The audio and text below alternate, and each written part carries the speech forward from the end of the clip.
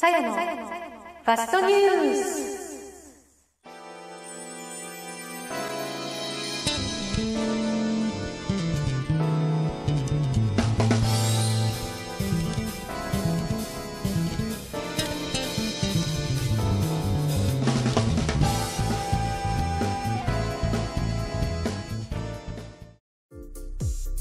そして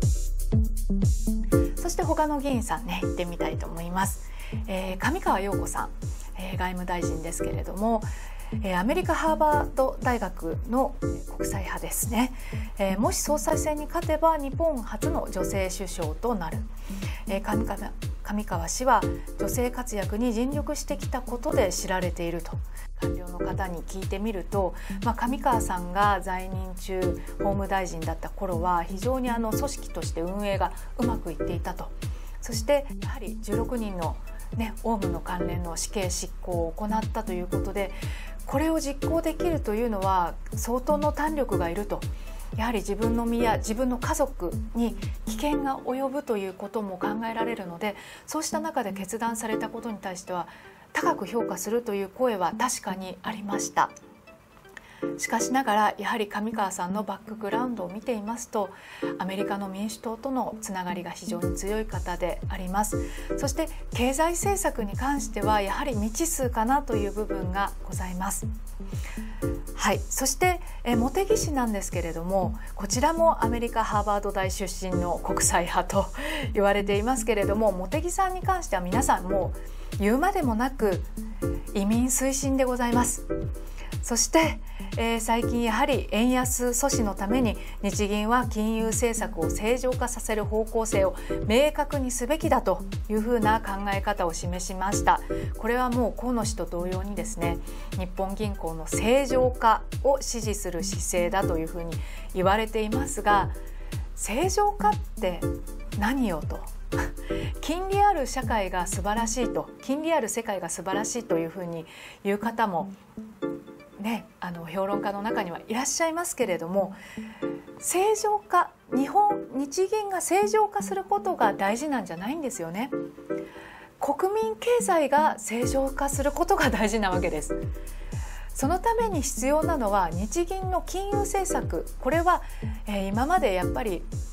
ゼロ金利と言われていました。これはあの間違っていないです。なぜかっていうと借り手がいないわけですからやはり金利を下げる必要があると。でしかしながらそれと両輪で行わなければいけない財政出動というものをこの30年間ずっと減らしてきたわけですよね。でそれこそ京都大学の藤井教授や三橋貴明さんなんかがおっしゃっている本当に2012年や13年の時点では10兆円を毎年増やしていけばですね財政出動を増やしていけば日本経済はデフレを脱却できたわけですけれどもそれを行ってこなかったために今ではもう100兆円規模でえー、財政出動を行わなければデフレを脱却できないというそういう、えー、数字が出ているわけです。だからもっと早く手を打っていればそしてゼロ金利と両輪で行っていれば日本はデフレから脱却できたわけですけれどもそれを行ってこなかった。でも安倍さんが残したレガシーとしてゼロ金利というものは黒田さん、日銀総裁がずっと続けていたわけです。そこできちっと財政出動を行う首相が現れなかったというのが日本の不幸なわけです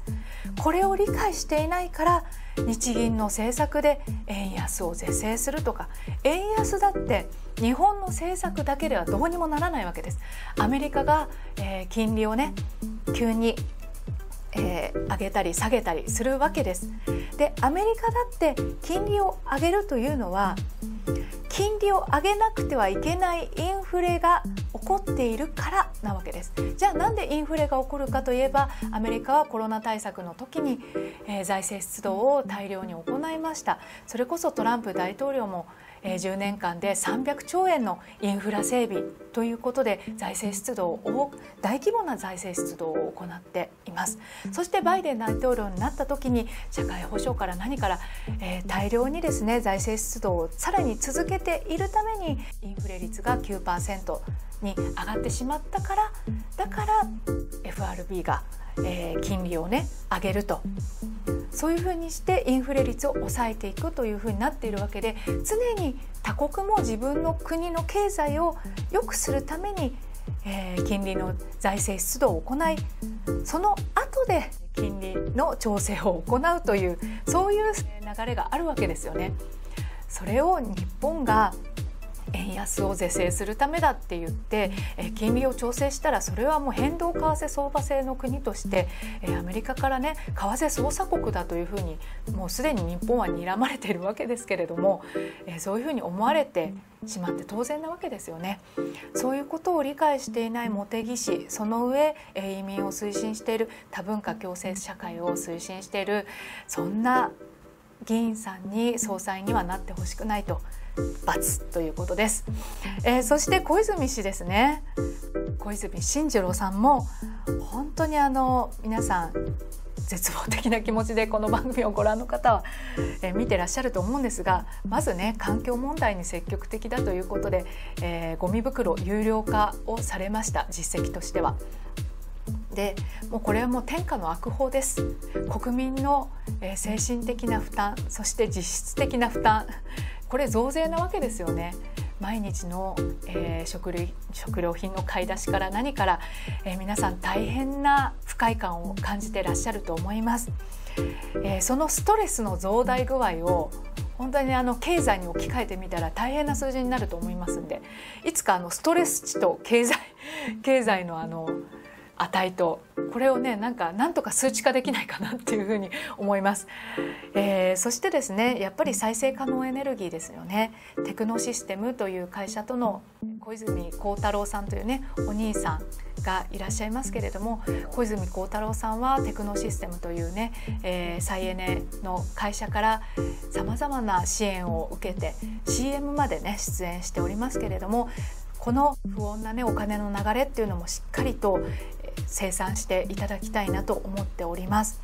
そしてタクシー運転手不足の解消に向けたライドシェアアプリの導入を提言するなどやはり、まあ、神奈川菅さんを中心にですねライドシェアを推進しておりますけれどもこれはもう完全に賃金抑制策なわけです。国民の給料がね実質賃金が下がっていることにライドシェアは寄与しています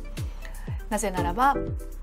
こういう規制緩和を行うことによって、えー、外資系のねさまざまな企業が入ってきて、えー、タクシー運転手の、えー、競争をね招くわけですからそれによってやっと上がりかけていたタクシーが不足しているということはタクシー運転手さんの賃金が上がるということなんですよねそれをライドシェアを導入することによって下げてしまうということ皆さんもこの番組をご覧の方はよくお分かりだと思いますけれどもそういう規制緩和を行うという部分に関しては小泉進次郎さんは私はもう新自由主義の権下だと思っておりますので総裁にはなっていただきたくないと思います。そして規制緩和に関して言うと河野太郎さんねすでに自分自身の政策を発表していますが規制緩和そしていわゆる国営のものを民営化していくという方針を明確に示されていますので河野太郎さん小泉進次郎さんこの神奈川出身の まあ、悪の権下ですけれども私は神奈川出身なので大反対したいと思います。そしてやはり高市早苗さんですね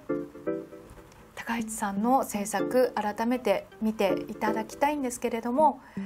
高市氏は原発のさらなる活用を主張する一方で太陽光パネルによる環境破壊を懸念しておられます。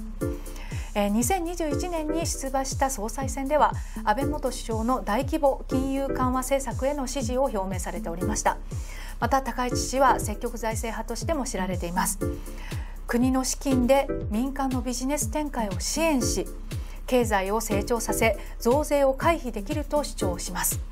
インターネット番組では必要なところにお金をかけて税収が増える形を作っていくことが大切だと語っておられます。そして靖国神社への参拝を続けている高市氏が総裁に選ばれた場合韓国との最近の、えー、関係改善が危ぶまれ中国との関係を一段と悪化させる可能性もあるだろうというふうに見ている記事もありますけれどもこれはやはり、えー、中間に関しては毅然とした態度で向き合うということで、えー、最近では靖国神社の石柱への当に不敬なああいう落書きの問題なんかもありました。こうした時にもきちっと対応してくれる首相になっていただけると思います。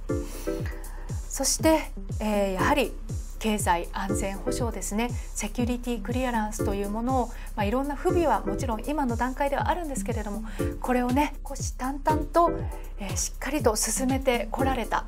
まあ、やはりそういう実際的な成果も上げられている数少ない議員さんだと思います。でやっぱりですねあのやはり日銀の正常化というものに関しては高市さんはですねあのしっかり批判の声も上げておられます。